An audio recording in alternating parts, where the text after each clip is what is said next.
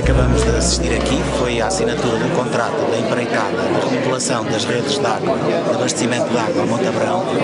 Vamos remodelar a totalidade, quase a totalidade da freguesia de Montabrão, das condutas efetivamente estão já envelhecidas, outras em envelhecimento prematuro. Que esta obra vai permitir qualificar e beneficiar as populações eh, da freguesia de Montabrão.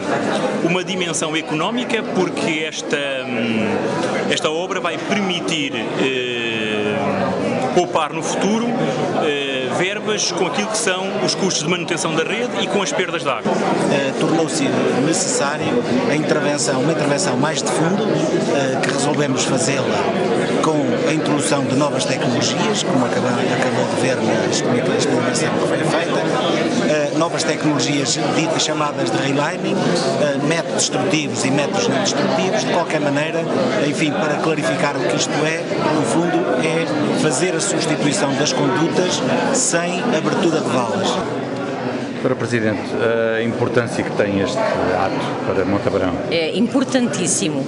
É, é uma reivindicação dos autarcas de Montabrão e minha principalmente.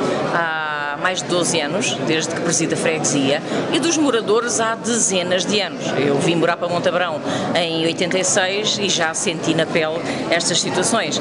Havia dificuldade no abastecimento de água há uns anos atrás, isso melhorou com novas, novas condutas que vieram com o Conselho de Sintra, mas uh, depois puseram-se o, o problema da, das constantes rupturas devido às canalizações obsoletas que existem na freguesia e, e a freguesia aumentar. Neste momento temos cerca de 45 mil habitantes numa freguesia com pouco mais de um quilómetro quadrado.